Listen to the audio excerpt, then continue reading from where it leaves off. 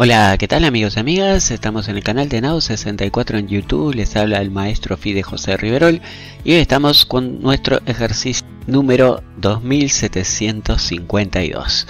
La posición que tenemos en el tablero en realidad nunca sucedió porque lo saqué de un análisis de una partida entre Nakamura y Rapport, una partida jugada por el FIDE Grand Prix de Siraj en Arabia Saudita del año 2017, más precisamente el 20 de febrero del 2017. Eh, como decía, no se llegó a esta posición, ¿verdad? Eh, Rapport jugó de una manera diferente y eh, la cuestión es que se los voy a dejar para pensar. Les recomiendo poner pausa. Juegan blancas y a ver qué harían ustedes en esta posición.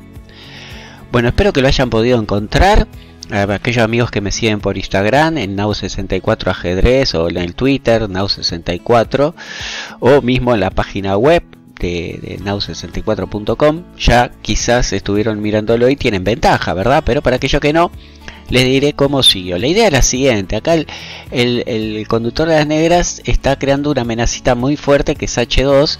Sería genial, genial eh, poder jugar torre por H6 y controlar la futura coronación de ese peón.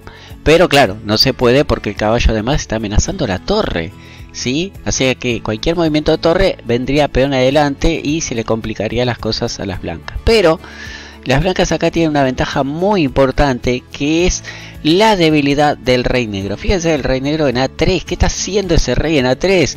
Este, pues bueno, tiene solamente eh, esa casilla y la de A2, porque tanto A4, B4 y B3 están dominadas por las piezas blancas. Entonces el blanco dijo, bueno, pero si no estuviera el caballo, yo me comería este peón y estaría todo concreto. Entonces quizás por ahí ustedes ya sacaron la idea de lo que puede suceder, ¿verdad? La jugada, para que voy a estar sacando la flechita para dejarlos pensar.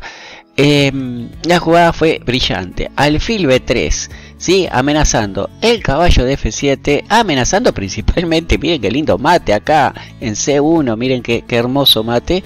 Entonces acá, bueno, en realidad las negras están perdidas, porque para defender el mate, ¿qué pueden hacer?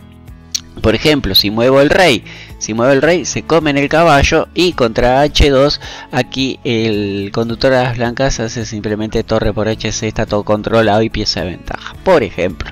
Bueno, espero que les haya gustado el video. Aquellos que quieran les pueden seguir por las redes sociales, como dije anteriormente. Pero lo más importante, pueden compartirlo con sus amigos, ¿sí? En las redes sociales, en el WhatsApp, demás.